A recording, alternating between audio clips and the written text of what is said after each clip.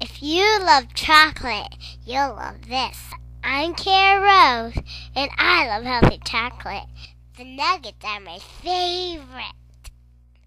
I'm only four years old, but but my mommy and daddy teach me to think very big. If you join, you will too. Why does everyone like to be in the business of healthy chocolate?